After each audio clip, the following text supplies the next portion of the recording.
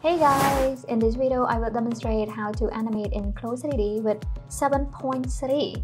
And um, in 7.3 animation, it has a little bit changes on the interface. So I'm going to show you how to use the new interface. Alright, let's get started. So before we begin animating, we want to change this particle distance here to 10. I'm going to come over here to property editor and then type in 10. Then press on return enter on the keyboard to confirm. After that, we want to take a snapshot of this dress. To do so, I will come over here to this history menu, click on that, and come over here to this t-shirt icon, click on that. After that, I'm going to rename the dress, simply right click and then select rename. And I'm going to type in red dress and press on return enter on the keyboard. After that, we want to come over here to simulation menu and click on the twirling arrow there. And I'm going to select animation. Now we are here in this animation window. Let's simply expand this timeline a little. Alright, so something we want to pay attention here with 7.3. We want to be sure this in frame here is more than the motion number. So for example, if this motion here, 300, we want to select this in frame here to be at least 4 or 500.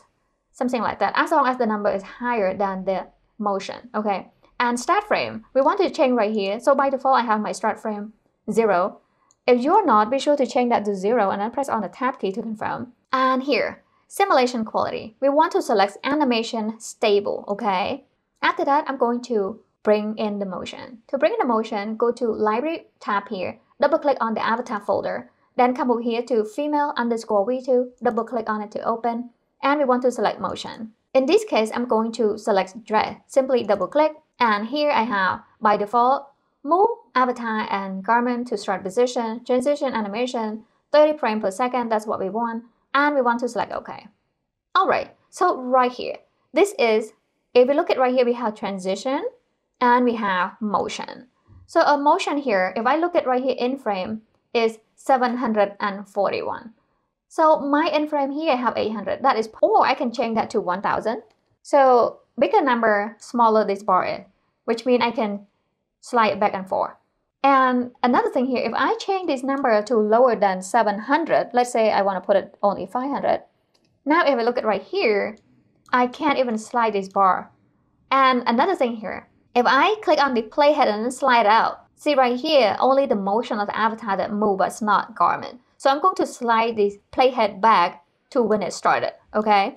And right here, I'm going to change this in frame back to 800 and then press on return enter on the keyboard to confirm. So now I can slide this bar here, okay? And another thing, when I record, you will see this a garment motion here. So right now we have motion, we have transition, okay? Next, I'm going to select this record icon here to record.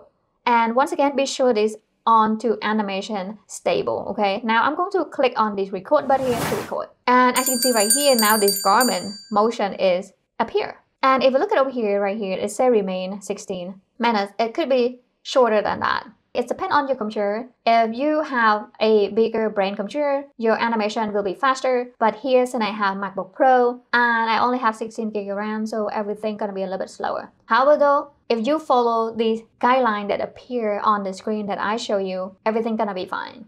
So I will fast this forward, guy, to save you some time. And just a quick tip guy, right here, I can scroll the mouse wheel backward here to zoom out a little and anything here is not yet final, okay? We can go in later and then hide the floor, even hide the shadow if you want to. But right now, I can zoom out or zoom in by scrolling the mouse wheel forward and backward. So if you look at right here, the motion of the garment will reach to this end frame here before it complete. And we are more than halfway there guys. Once again, I will speed up the process. It will save us time. Okay, we're almost done guys. If we look at over here, we still have like 30 seconds left. And here the timeline almost finished. Okay, so now everything back to kind of lit up compared to before when it's still rendering everything kind of gray out. So when everything is lit up and this playhead is reached the end, now you can click on that playhead and then drag kind of scrub through and see how the dress move on to or with the avatar. And you can also slide this bar here and bring this over here to the end. Okay, so Another tip that I want to point out here, let's say if I don't like this motion, I can simply click on that motion, right click, and then select delete. The same with right here, the garment. So if you want to change the motion, you also want to delete this garment here. In this case, I'm gonna to leave as is.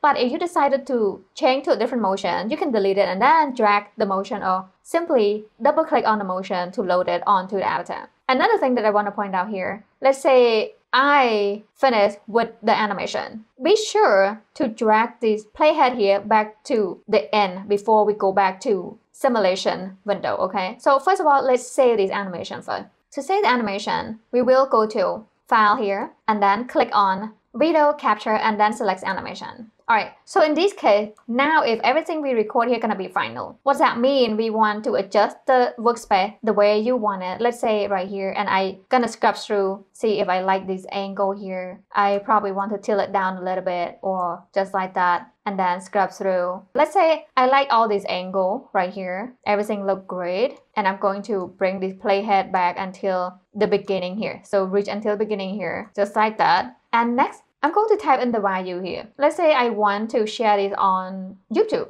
I will type in here 1920 and then press on the tab key and then change this to 1080 and then press on the tab key once again to confirm. And I'm going to simply click on the record button right here. Or let's say, okay, I forgot something. I'm going to click on cancel here, okay? And let's come back and I'm going to click on this slide bar once again. So what happened? I forgot to hide the floor. Come over here to this environment and then click on show or hide the floor because I don't want the floor, okay? And then simply click on record to record. And once again, everything gray out. So we can't do anything until the recording is finished. So right here, when it's finished, we will click on the stop recording. But I'm going to wait until it's finished.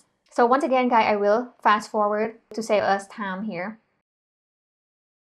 Okay, now everything is light up once again. Next, we want to click on this stop right there. Here we go. So this is the final result. We want to first click on this play button right here to play and to see how the dress and the avatar walking on the runway. And as you can see right here, simply the dress is beautiful and the workspace is perfect. I'm good to go. So I'm going to click on stop here and then click on save.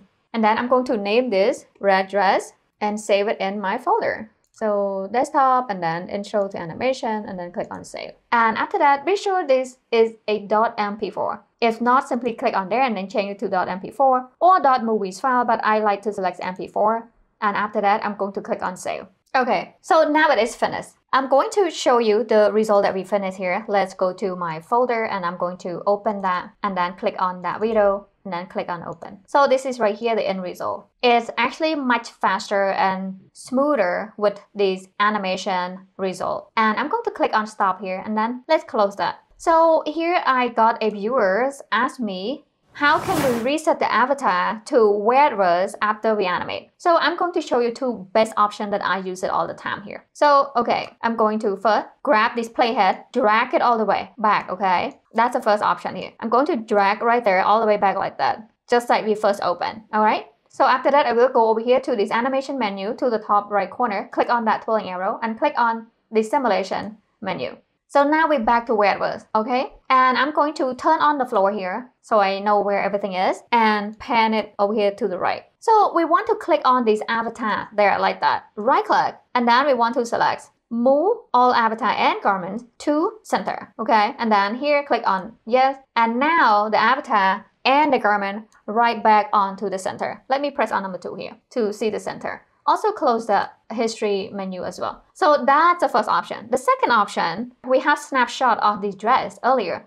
What we can do here, if all the garment messed up, we can't fix it. Simply my key select that dress and then right click and then select delete and then delete the avatar as well. And then come over here, double click on that dress that we saved earlier to load onto the workspace.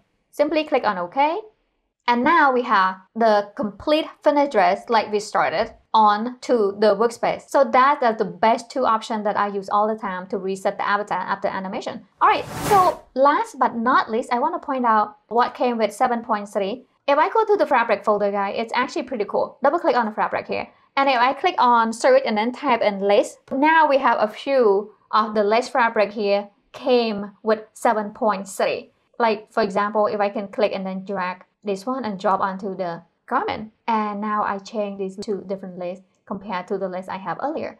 I'm going to also change that to this back pattern as well. So my key select and then come over here and then click on this assign icon here on the lace fabric to assign the fabric onto the garment. And that is pretty cute, right? I do like this lace a lot, really. Okay, there you have Designistas. I hope you guys found the video helpful. And be sure to give it a thumbs up, which is easier for other people to find this video. And if you have any question, please leave a comment below the video. I promise to get back to you as soon as possible. Thank you so much for watching, guys.